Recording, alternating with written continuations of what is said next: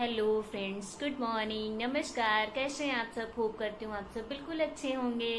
Welcome back to new blog. तो आज YouTuber Armaan Malik के घर ट्विंस बेबी हुए हैं, जिसमें से एक बेबी बॉय है एंड एक बेबी गर्ल। तो क्या कहते हैं, तीन भाइयों में एक बहन तो होनी चाहिए तो बहुत ही अच्छा हुआ। तो क्या कहते हैं, सबसे पहले congratulation Payal Malik, Armaan Malik and Kritika Malik. God bless you बच्चों।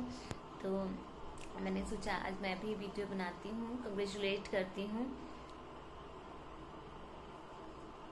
मोस्ट अवेटेड न्यूज़ थी ये।